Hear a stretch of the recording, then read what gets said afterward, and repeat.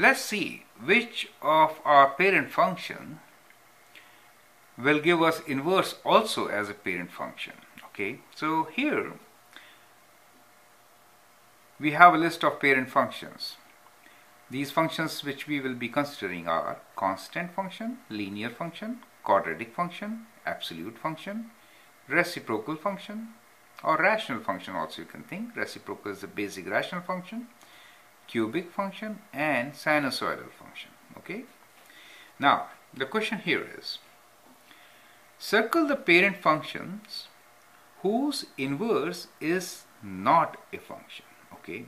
Now, how will you find that which parent function's inverse is a function and which is not a function okay think about their graph right and then then think about the inverse let's also read the next part what unique common characteristics failed some inverse from being a function for the parent function i think it's better to answer discuss part b right so part b says what unique common characteristics failed some inverse from being a function for the parent function. So, what do you think are the common characteristics which you should be looking for in the parent function so that you know that their inverse will not be a function? Do you remember? Well, I hope you do. One of the characteristics is horizontal line test.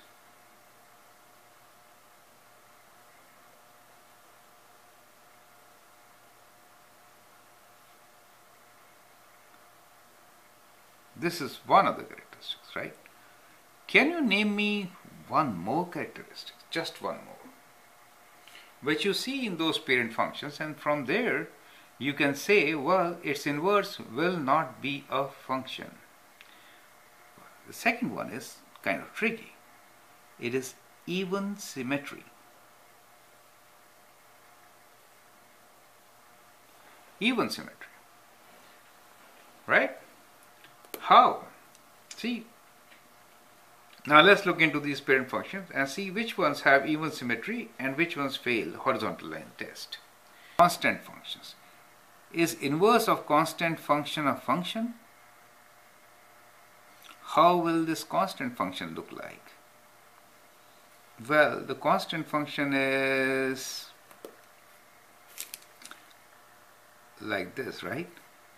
It is basically a horizontal line, right?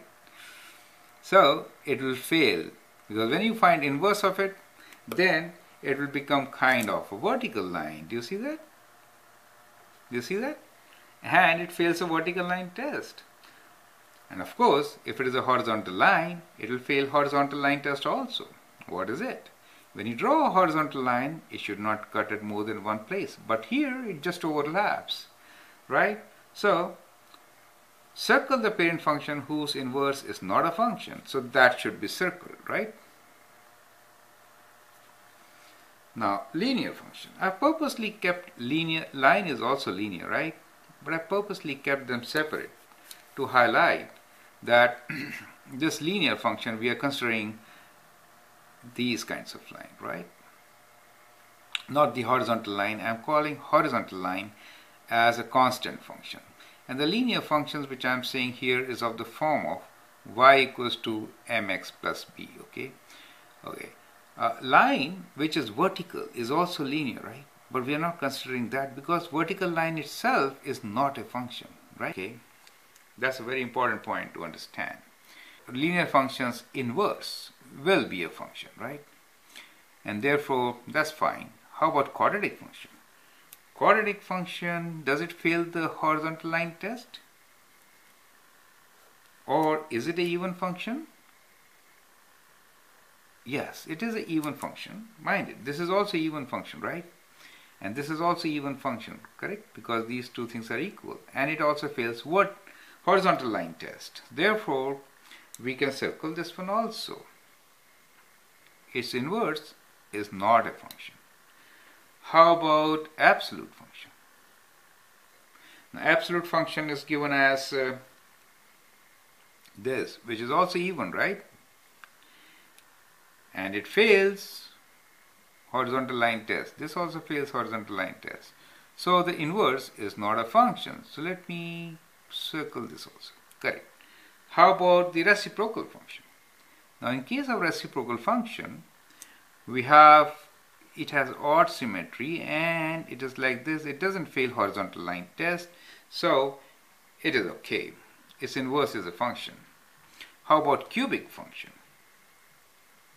Cubic function is kind of like this, right?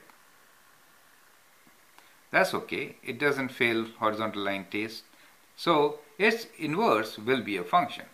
And how about the sinusoidal function? Well, sinusoidal function fails horizontal line test.